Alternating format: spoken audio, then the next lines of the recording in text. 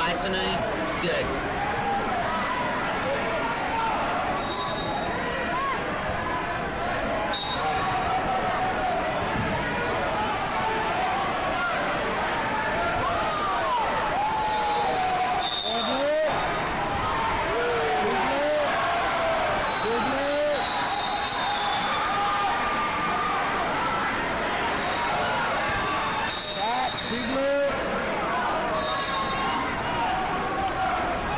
Tech by Loke Weber. 44 to 32. 44 to 32 final score.